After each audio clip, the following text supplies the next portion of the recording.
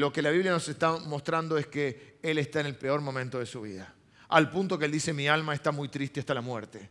Estoy angustiado. Necesito que oren por mí.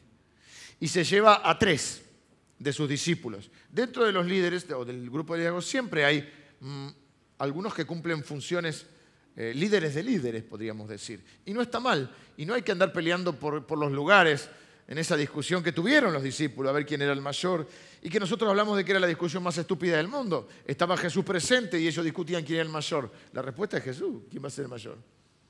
Pasaron dos mil años y en las iglesias y en muchos lugares todavía se sigue discutiendo a ver quién es el mayor. Y siempre el mayor será Jesús. O alguno nació de una virgen acá. O alguno caminó sobre el agua. O alguno es capaz de multiplicar los panes y los peces. O alguno dio su vida y resucitó. Jesús es el mayor.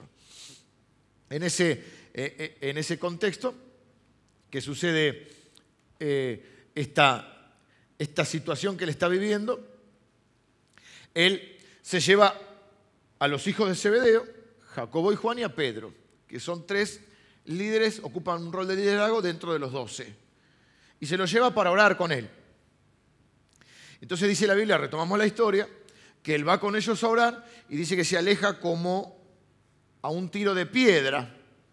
No sé cómo andás para tirar piedras, pero por ahí unos 50 metros llegás. Se aleja y le pide a, a esos tres que no están solamente ahí, son los tres que están en el monte de la transfiguración, son los tres que están en la resurrección de la hija de Jairo, es decir, son el grupo más íntimo de él.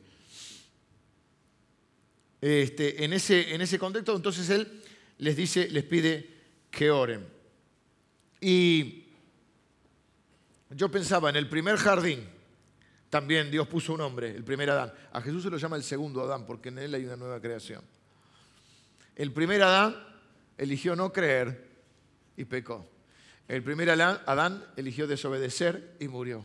El segundo Adán, que es Cristo, elige honrar a Dios, elige creer y él sale triunfante a través del dolor. No siempre Dios va a evitar el dolor en tu vida, pero Dios va, el último Adán persevera y triunfa. No siempre Dios va a evitar el dolor en tu vida, a veces te va a acompañar a través del dolor.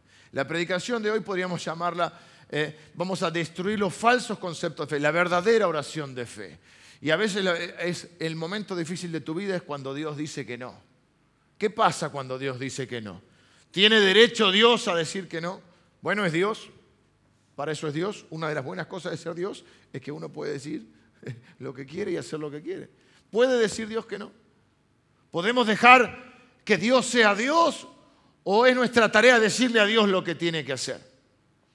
Jesús se va a ocupar personalmente de enseñarnos ¿Qué oró él en el peor momento de su vida? ¿Y qué es lo que ora? Bueno, él ora tres veces en, en, este, en este pasaje.